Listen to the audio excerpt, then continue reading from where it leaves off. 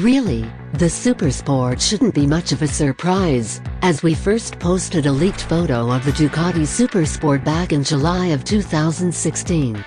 The bike was shown to attendees of World Ducati Week with a strict no cameras policy, but unsurprisingly, Amol, if you believe this photo was staged, was able to snap a pic and distribute it to the world via social media. The rumor mill then ignited with possible specs for the Supersport and, I'll admit, I got caught up, too. The guesswork came to an end in October 2016, as Ducati finally took the official wraps off the Supersport and Supersport S at Intermot. Beyond being a sporty sport tourer, what we found could arguably be described as the ideal middleweight sport bike, if you're willing to let go of the notion that middleweights have to be 600cc fours. We've already covered the technical details of the Supersport after its Intermot unveiling, but here are the key points. 1. Power is sourced from the 937cc Testastretta 11 Superscripto found in the Hypermotard.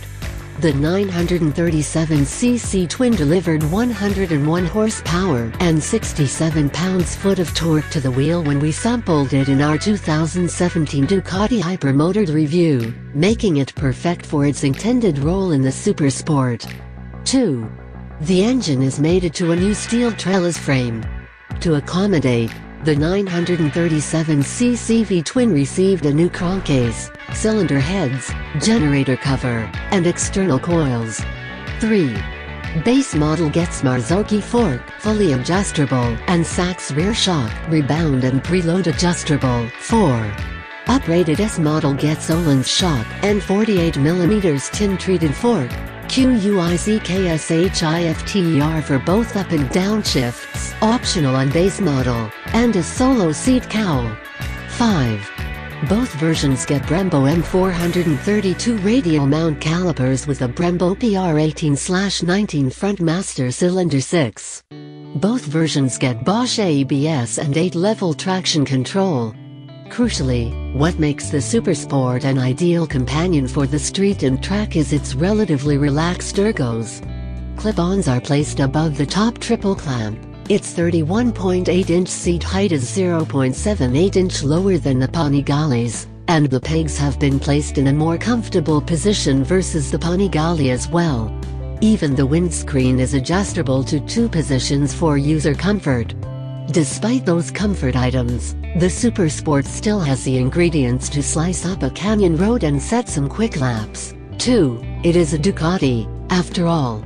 With a 24.0 degrees rake, 3.68-inch trail and 58.3-inch wheelbase, compare that to the 1299 Panigales figures of 24.0 Superscript O, 3.78 inches, and 56.6 inches respectively.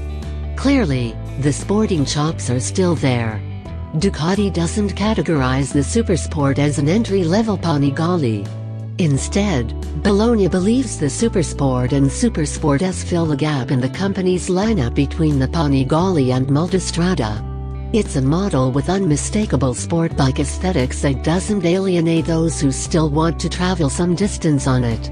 Whether you want to call it a sporty bike or a sporty tourer, the question remains, does it work? A streetable sport bike? The simple answer is yes, it absolutely works. But if you're expecting a motorcycle like the past supersports of a decade or more ago, then you should change your expectations. Ducati says the latest iteration of the Supersport isn't a modern-day interpretation of an old name, but instead a new direction. Ducati's out to prove comfort and sport are not mutually exclusive. Looking at the bike, it's clear to see by the Panigale-inspired nose and elegant bodywork that the Supersport is ready for a curvy road. Once you're sitting on it, the message of comfort also makes itself known.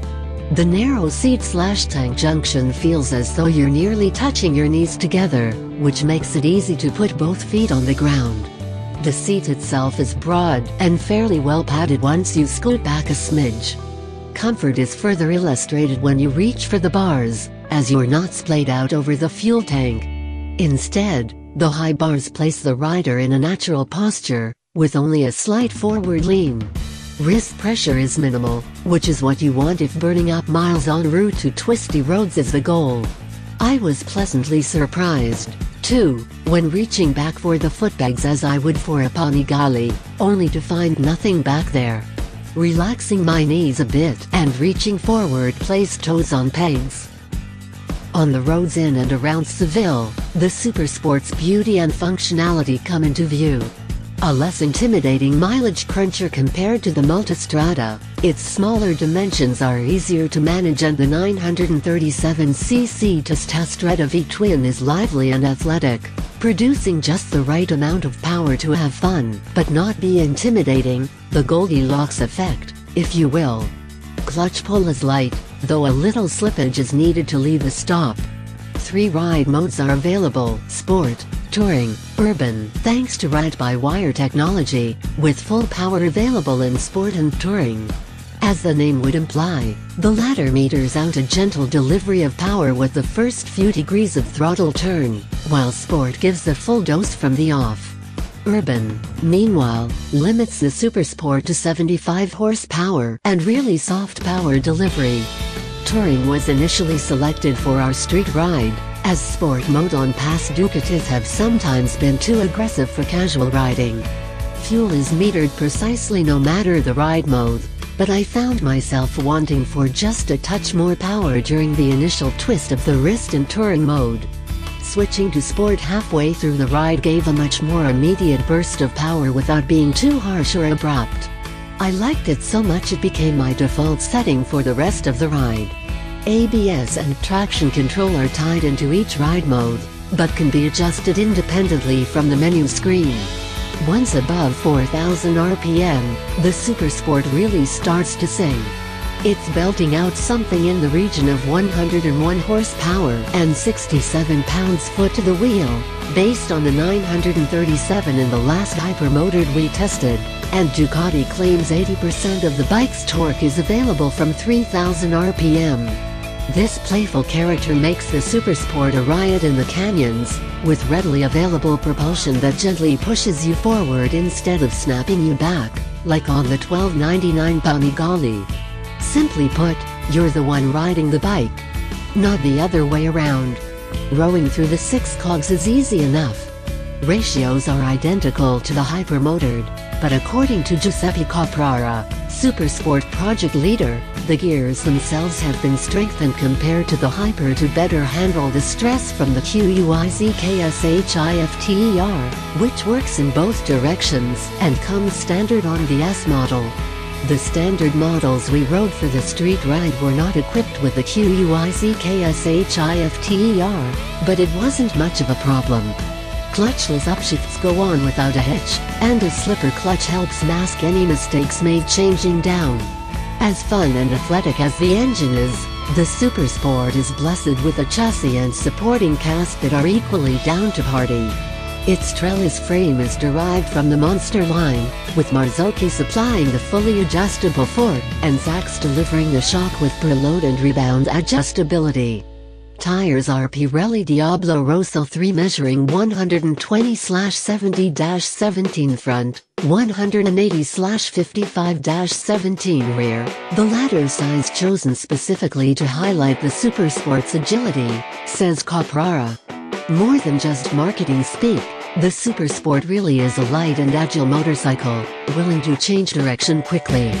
The sinuous Spanish roads Ducati chose as part of the ride route brought this into clear focus, as flicking the Supersport's 463 pounds from side to side was effortless, an attribute no doubt helped by the positioning of the bars, which are wide enough to give just the right amount of leverage to toss the bike around. Once on its side, the chassis slash suspension slash tire combination feels sure and planted. If you ask me, Ducati nailed it with the Supersport. Fun, quick, and unintimidating it's a great real-world Ducati for those who want to combine elements of sportiness from the Panigale, approachability of the Monster, and touringability of the Multistrada. That said, the bike isn't without its sore spots. First, as a bike claiming to be flexible enough for touring, the twin 22-liter saddlebags are part of the optional touring pack available from Ducati. Other bits of the touring pack include a taller windscreen and heated grips. Speaking of which, buzz from the Supersport does start to make the hands go numb when you're playing in the upper third of the rev range, common when strafing canyons at a quick clip. Lastly, it seems Ducati missed an obvious opportunity by not equipping the Supersport with cruise control. Throttle is ride-by-wire anyway. For a bike capable of some light touring, cruise control should be a no-brainer. The new middleweight, the Supersport may be a road-going motorcycle first and foremost, but Ducati has racing in its blood, so it couldn't just have a single version of a model. Hence the Supersport is distinguished by its matte white color, matching solo seat cowl, fully adjustable Öhlins suspension, and Ducati quick shifter DQS. The S version further highlights the sporting chops of the bike without sacrificing its light-duty touring potential. To take full advantage of the Supersport S, a racetrack is needed. Ducati shuttled us to the Circuito Monteblanco to fully explore the limits. With only two 20-minute sessions at our disposal, it was important to learn the track quickly. Fortunately, the relatively docile Supersport S made this easy to do, as its modest power doesn't overwhelm the senses, allowing me to spare a few precious brain cells to figure out my lefts from my rights.